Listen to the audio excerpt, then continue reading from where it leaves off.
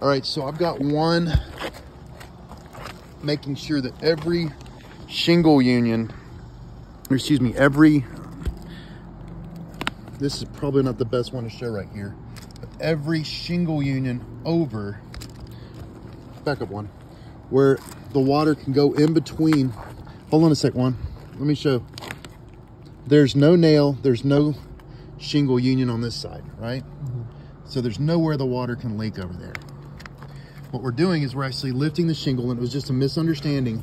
We're actually lifting the shingle. This is the nail. That's a textbook position for nail. It's six inches away from where the shingles meet right here.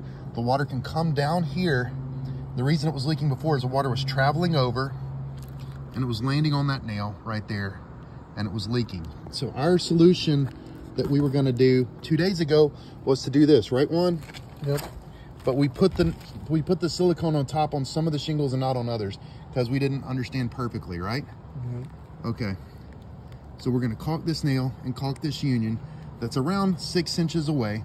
And that's how you put shingles down. That's every single shingle manufacturer. That's how you do it. But we wanna seal underneath so that no water can go on the nail that's right here or the shingle that meets six inches over. So we're sealing every one of these. Juan, I want you to look at both sides. Do you understand? Yep. Make sure that there's nothing on the other side. No nail, no nothing. So look on the right and the left. So we're actually putting an extra layer of protection beneath the shingles, not on top. I want this shit going off this roof, Juan. Do you understand? Every last bit of this silicone is... Do me a favor, pull up a piece of this silicone.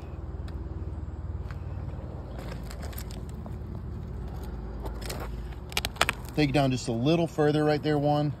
Cover this as well. I don't want any any possible way it can move over towards that gap. This roof is very, this roof is very shallow. It's a 112, right? So you can see that's a low slope roof. And we've got water coming off here, splashing, hitting this roof and splashing. So it can go in, to my point, hit a union like this and splash right. The water can splash underneath here where it meets, and it can splash left as well. Juan put one little dab of silicone right there. I want to see that dab run all the way down to protect this union and so that anything that sort of splashes or moves isn't going to get a chance or an opportunity to go right or left where these shingles meet. And that's how you protect and prevent a roof that's a low slope roof from leaking. You don't put freaking silicone over the top. Although that can work, it looks like shit. We're pulling that up off the roof no big deal, but we are gonna seal below the shingles to prevent water from going left and from going right and getting under the nails. Right Juan, are you looking left and right? Did you confirm the other side too? Yep. Let's, let's look at it. Look at the other side. See, there's no nails here. There's no shingles meeting. There's a shingle meet right here, right? Yep. But there's not one over here. So we don't have anywhere this can leak. Mm -hmm. So we don't need to seal that. That's not necessary, right? Yep. But this side was necessary, right? Mm -hmm. We went ahead and sealed underneath here and that will prevent any water from splashing and going left or right. We're gonna do that for every shingle on this roof, right? Juan, do me a favor, go ahead and pull any of this silicone off that you were pulling off. It's coming off pretty easy, not a big deal. It was just a misunderstanding, correct? Yep. You didn't understand what we were trying to do, right? Yep. And now you do, right? You got it? Yep. You sure? Sure. You can take pictures of what you're doing as well? Yeah. All that silicone's coming off. It doesn't need to be there. We're going to put the silicone to protect underneath right up here. Let's pull up another one right here. Okay. You put one silicone right there on that nail. That was partially right. I want you, don't don't do it. Just stay on your rows. I just okay. want to explain. That's all. You don't need to work. It's okay.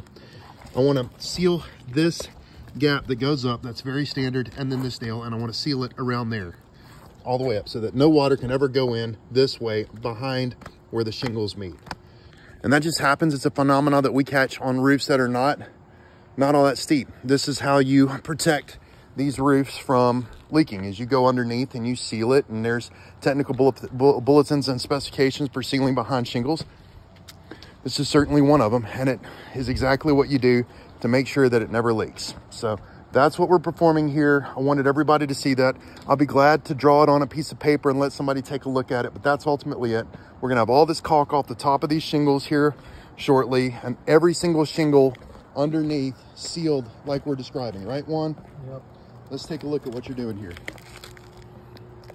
Right, so we're sealing that So there's no way the water can travel this way and get in there. And there's nothing on that side, right? I'm gonna show folks that. Yep. That that nail is a foot almost over, right? Yeah. So there's no way the water goes that far. So that's what we want to see is either the the nail being a foot over. If it's six inches and a and normal normal patterning, I want to seal it just to be extra sure. Especially we've had problems keeping a roof dry that's a little bit lower slope. This was exactly what we're going to do to resolve any sort of possible issues and make sure this roof never leaks again. All right, guys. Appreciate y'all watching. I'm Kirby Smith. See you later.